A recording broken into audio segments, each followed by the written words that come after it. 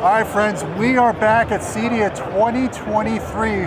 We're at the Harman booth looking at the luxury brand Revel. That's what we're going to be talking about in today's video.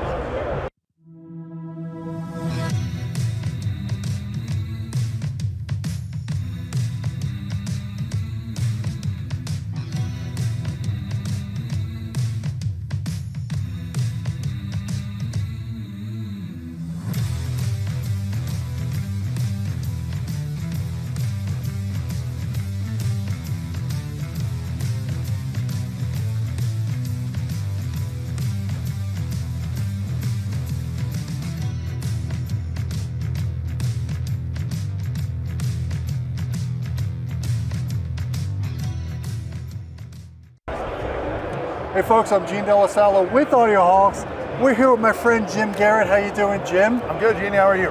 I'm doing great. You know, the last time I was at CEDIA was back in 2019 because there's been so many cancellations between COVID and hurricanes. Yeah. I was just talking to you. The last time we shot a video for Revel was when you had the, the red F328s. Yes. Gorgeous yes, looking color speaker. Yep. Was really impressed with that. So I've got a pair of F328s in one of my reference systems, and that's a staple in a two-channel system there. And I was always wondering, when are you guys going to release in-wall equivalents? And here we are now looking at all these products. I want you to give us a rundown because you are great at giving rundowns of products. I don't remember models as well as you do. You know this stuff down to a science. Why don't you talk about the range of, of Revel, why you have them as an in-wall, back boxes, all that stuff. Sure, sure, yeah. So this is the Revel Performa Beryllium architectural range, and we design these to do several things. They can be high-end hidden hi-fi, they can be high-end distributed audio, or they can be hidden home theater products. And on top of that, they can also mix and match. So the floor standing loudspeakers that you have, F328s, these would be perfect companions to complete a hidden home cinema system with them, but still have those floor standers there as your main music channel speakers. So there are four models in this range. We've got three in walls and we've got an in ceiling, and they use the same drivers that we use in the box loudspeakers. So we took the same one inch beryllium tweeter, we took the same deep ceramic composite cone drivers and put those into the architectural models. So the one that we're standing right in front of here, this is the W228BE, and just to your left there is the F228BE, and a lot of people I'm sure are familiar with that speaker. It's been a very popular model for us. It's won a number of awards there. But we took those transducers and reconfigured it into this in-wall model. And because you can see it's a little bit of a different configuration, we put the eights on the end of the speaker, and that allowed us to get the mid-range and a tweeter right into the middle of it. And this whole module here, as we look at this, is its own separate unit. So we can pull that out and rotate that and let this speaker become a horizontal configuration. If you wanted to do around a fixed screen with those, you could do that. Back boxes are optional. You don't have to have them, but you can certainly add them. That gives you consistency in sound. It minimizes uh, kind of noise abatement into adjacent spaces, if you will. So those are an option for you to do it. Uh, but this is the, the granddaddy of the line here, the W228BE. And then we've got two smaller in walls and an in ceiling model that complete the range. So what's really cool about this speaker, like you said, you only have one SKU for the center channel. You Yeah. can orient it horizontal or vertical. Correct. A lot of companies forget about that. You know, they, they see the center channel as kind of like an afterthought, and they either have just an MTM or just the regular bookshelves version of an in-wall. It's great that you guys actually have a three-way that's proper both, both vertically and horizontally. Yes.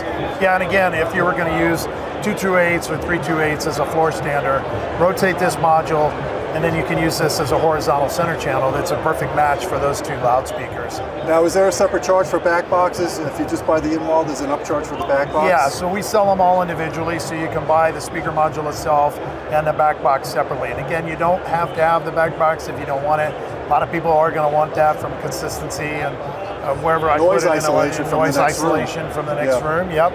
If you're going to put it in uh, a standard stud bay enclosure, I would suggest the glued and screwed method, of course, to try to get a good enclosure out of a uh, wood frame stud wall with drywall in it. But they'll work. We are actually demonstrating them on the other side of the wall here, and those do not have back boxes with them. So we can take a listen to those in a little bit and let you Sure. check them out. What's the price range on these again? So on this model, this is the flagship. So the speaker module itself is $3,500 and the back box is an additional 1000 So if you do a pair of them with the back boxes, it's a $9,000 solution for those.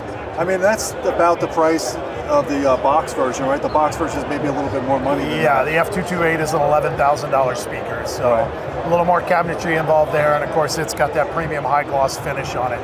Now, what do you recommend if someone wants to have a completely invisible system They want to round it out with bass. Do you have in-wall subwoofers that would go complement this? We do. So we have the Revel B28W. That's a dual 8-inch in-wall sub module. Fits in 2x4 construction, as do all of these.